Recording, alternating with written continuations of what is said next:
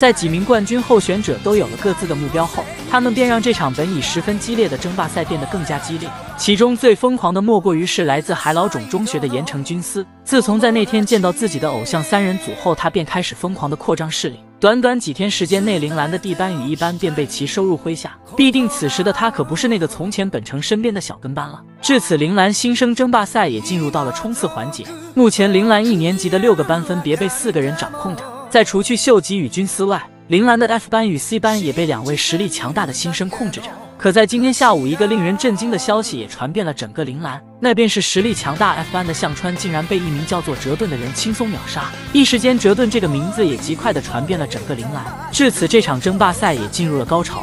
然而，今天 C 班的有洞却找到了米奇。原来有洞自知以自己的实力不可能在这场争霸赛中获得胜利，于是他集结了在这场争霸赛中一些落败的不良，打算以偷袭的方式取得最终的胜利。为了进一步提升自己这边的实力，他也决定前来拉米奇入股。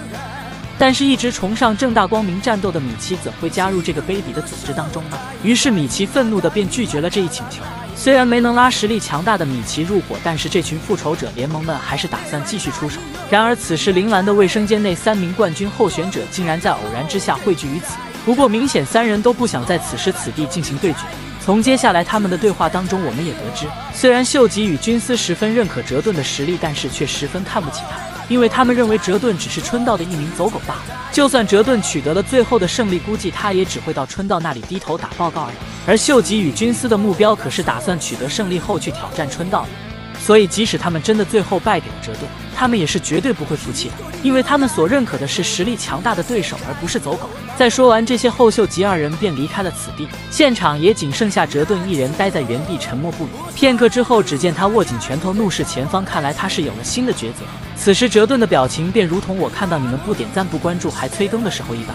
而另一边的复仇者联盟也决定向军司出手，他们先是以单挑的名义将军司约了出来。随后趁着军司不注意，背后偷袭，仅是片刻，军司便被打得满脸鲜血，但是他依旧屹立不倒。就在众人打算彻底了结军司的时候，秀吉却赫然出现，这究竟是怎么一回事呢？原来复仇小队偷袭军司的这一幕被当时在不远之处的米奇看到，于是，一向遵从光明正大决斗的他便将这件事告诉给了狂犬秀吉。秀吉在听闻此事后，便急忙赶向了战场。虽然他们二人乃是竞争对手。但是他绝对不容许自己认可的这位对手败在这么卑鄙的一群人手中。秀吉在看到伤痕累累的军司后，竟然开口劝告道：“如果面对这群垃圾，你只能做到这种程度，那么你还是退出吧。从现在开始，这群人由我来处理。结束后，你把所有纽扣全部交出来就可以了，因为我比你强。”在说完这些后，秀吉竟然开始发怒，因为军司本是他挑选出来最后的对手，但是没想到他竟然会倒在这群卑鄙小人的手中，这样他的对手便变成自己十分看不起的走狗折顿。在让军司在一旁好好观战后，秀吉便一脸冷漠地走向了这支复仇小队。只是片刻的时间后，秀吉便手握着五枚纽扣缓步离开。显然，他是打败了这支复仇小队，并且折服了军司，让其心甘情愿地交出自己的那两枚纽扣。在秀吉离开后，现场也仅剩下沉默不语的军司以及全部倒地的复仇小队。这位加东秀吉果然有着狂妄的本事。至此，这场新生争霸赛也仅剩下加东秀吉与花泽三郎这两位进行最终的决战，而最终的冠军也将在。他们二位中产生。与此同时，童岛也在与春道讨论着这场新生争霸赛。只见童岛对春道说道：“你虽然不承认自己是铃兰老大，但是所有人都已认定你这个身份。而在这场新生争霸赛中获得最终胜利的那个人，也会前来挑战你。”至于在众多位选手中，童岛明显更看好那位敢于挑战自己的狂犬秀吉。但是面对童岛的话，春道却满不在意，因为他已认定这场争霸赛最终的获胜者必将是自己的那位学弟哲顿。必定他认真起来可是有着山原那般的实力。但童岛却立刻说道：“如果那样的话，所有人都只会认为他只是你的一条看门狗。虽然春道从未这么想过，但是如果事情最后真的这样收场的话，相信所有的铃兰新生都会把哲顿当成春道的一条狗而已。”在童岛说完这些后，便转身离开，只留下春道一人若有所思地站在原地。在这件事的第二天，这场新生争霸赛的最终之战也将爆发，而决战的现场竟然只有三个人，除去哲顿与秀吉这两位冠军候选人外，也只有充当裁判的军司在场。在双方做好准备后，这场铃兰第二十七届新生争霸赛的决战正式展开。两天后，米奇找到了军司，他十分好奇两天前的那场争霸赛最终的结果究竟如何。因为自从那天以后，他们二人便没有在铃兰出现过。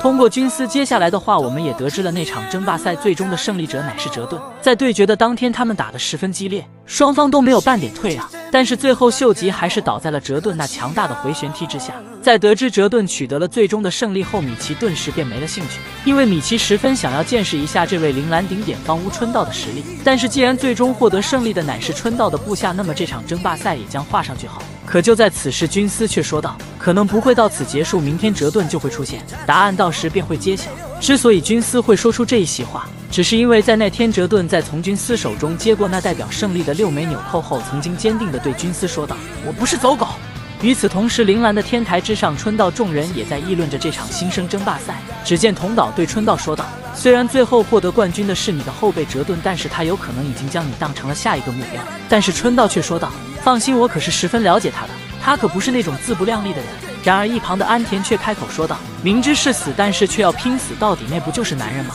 不得不说，安田有的时候真的可以语出惊人。众人也因为这句话而佩服起安田。这个时候，童岛也继续开口问道。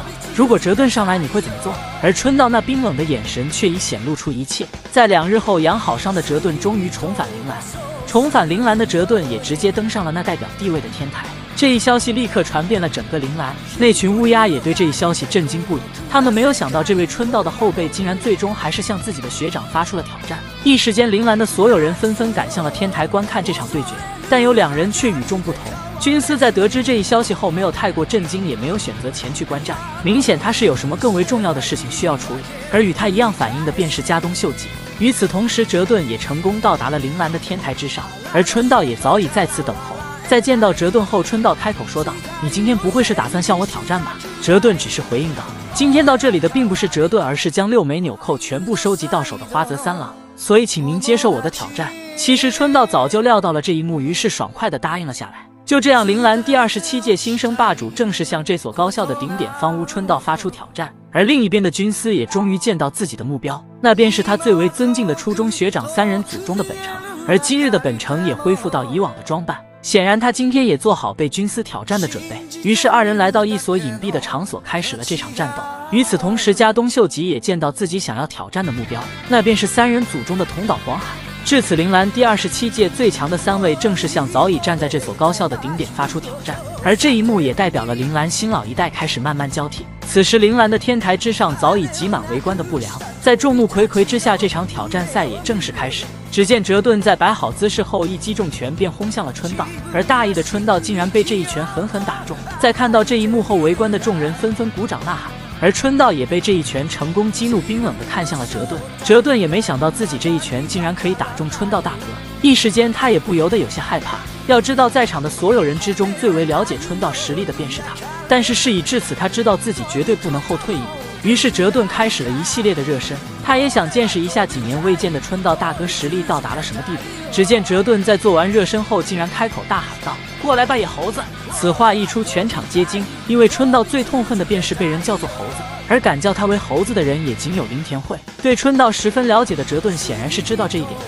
他之所以这么做的原因，就是想要激怒春道，因为他深知一旦春道大哥进入愤怒状态，便会失去理智，只有这样他才有可能取得胜利。想不到哲顿在其憨厚的外表之下，还有着这一面目。显然，他的作战计划是十分成功的，因为此时的春道明显已经愤怒到了极点，提拳便打向了哲顿。但愤怒下的春道简直是漏洞百出，于是又被哲顿抓住机会将其打飞了出去。在春道刚刚起身后，哲顿的一脚飞踢便接踵而至，而这一击的威力更是惊人。春道在吐了口鲜血后，也再次飞出。围观的众人也都对哲顿所展现出的实力震惊不已，一时间他们也是无比兴奋。必定春道被一名一年级新生击败，那可是他们十分愿意看到的。而哲顿也被这一幕所感染，这一幕简直与他在初中时期打倒奥特曼的情节是一样的。于是他下定决心，这一次一定要胜利。与此同时，愤怒的春道也再一次冲了上去。看到此时的春道已经完全丧失了理智，安田也急忙的大喊，希望其可以保持冷静。可现在的春道却早已被愤怒冲昏了头脑，而哲顿面对这样的春道，也渐渐有了压制的姿态。春道也被哲顿一拳拳的打在了身上，一朵朵血花也向四周飘散。围观的众人也纷纷的为哲顿加油打气。在哲顿一连套的攻击后，春道也险些再次倒地。虽然此时的春道尚未倒地，但也让哲顿发现了机会。于是哲顿大喊着“好机会”，强力的一脚便踢向了春道。而围观的众人此时也拼命的大喊着，他们多希望哲顿这一脚可以命中。可是哲顿那强力的飞踢竟然被春道挡了下来，并且还反手抓住了哲顿踢来的右腿。在众人以及哲顿惊恐的眼神下，春道大喊着一拳便砸向了哲顿。这可是春道几乎全力的一拳。要知道，在目前整部漫画中，也仅有林田惠可以扛住春道的拳头。反观哲顿，被春道这一拳竟直打飞十数米，鲜血与眼泪交织的花朵也在空中乱舞，随后便摔在地上，丧失了意志。围观的众人在看到这一幕后，也纷纷改口，开始为春道加起了油。但是此时的春道怎么会放过他们？愤怒下的春道径直冲向人群，开始了无差别攻击。至此，这场战斗也以春道获胜而结束。你们认为，在这场对决中，春道究竟放了多少水？虽然这场战斗已然结束，但是此时还有另外两场挑战赛正在进行着。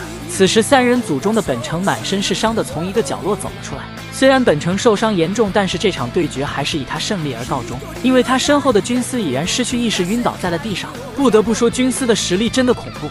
竟然在一年级的时候便可以与身为三年级的本城打得这么激烈，而另一边的桐岛广海与加东秀吉的战斗也已然结束。只见浑身是伤的桐岛平静地看向秀吉，问道：“还想再来吗？”但此时的秀吉早已没有一丝力气。看到秀吉这般表现，桐岛起身后也开口说道：“如果你觉得自己输了，那以后就不要太过放肆。在别的学校我不知道，但是在铃兰，你还不具备挺起腰走路的资格。